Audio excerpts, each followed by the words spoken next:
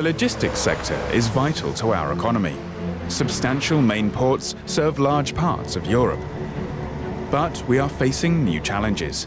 A growing shortage of drivers, unused road capacity at night, and wasted terminal time due to paperwork and poor digital insight into total incoming and outgoing traffic.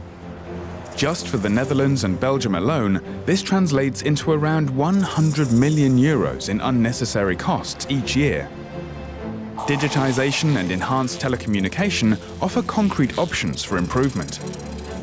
Where fully autonomous transport is not yet feasible under all operational conditions, teleoperation can add to the next level in logistics. In teleoperation, humans still monitor and operate trucks and vessels, but from a distant control center. To make this work, communication between vehicles and control rooms needs to be fast, secure, widely available, and reliable at all times. And that's exactly the promise that 5G delivers.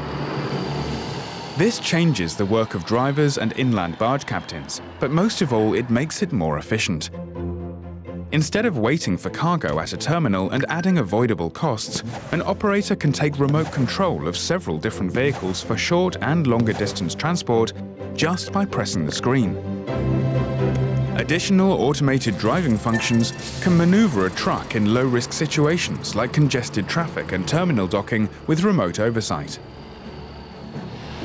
The Netherlands has entered into partnerships at home and abroad to utilize all opportunities offered by 5G, digitization and automation.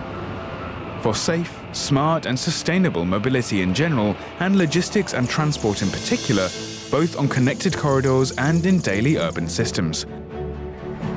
Large-scale collaboration and public-private investments accelerate the deployment of new technologies and help strengthen the logistics sector and our economy as a whole.